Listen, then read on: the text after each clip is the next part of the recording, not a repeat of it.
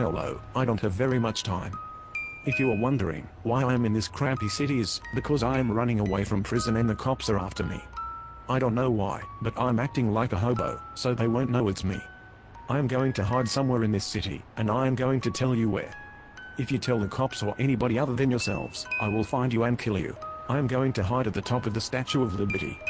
That's right, I am in New York. I am going to hide behind one of the crown parts.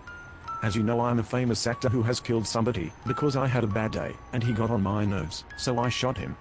I thought it was a fake gun, but it was a real AK-47. If I see a cop that is after me, I will jump off the statue, and nobody will see this actor again.